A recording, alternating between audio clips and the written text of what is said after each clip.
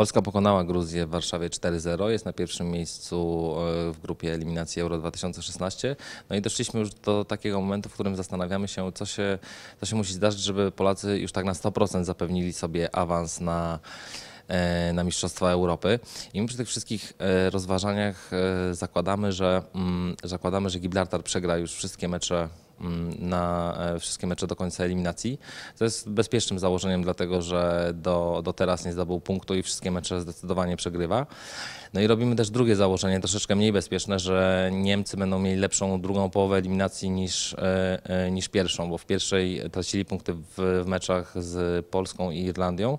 No a tutaj zakładamy jednak, że do końca tych punktów, tych punktów nie stracą. No i są argumenty, żeby tak, tak sądzić, jednak było tak, że poprzednia jesień była dla reprezentacji Niemiec bardzo trudna.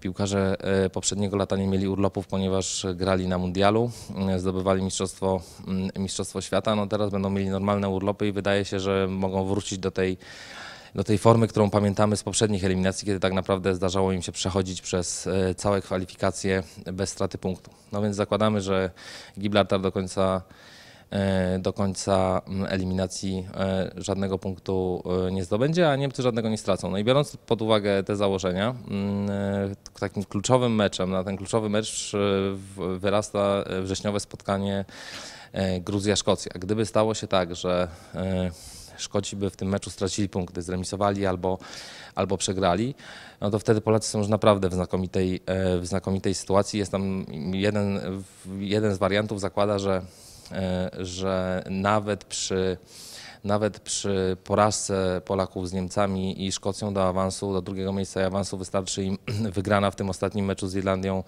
u siebie. Sytuacja się ciut komplikuje, jeżeli Szkoci jednak wygrywają w Gruzji, co jest najbardziej prawdopodobnym, prawdopodobnym e, rezultatem, bo wtedy, bo wtedy takim finałem eliminacji e, staje się mecz Szkocja, Szkocja-Polska, październikowy mecz Szkocja-Polska.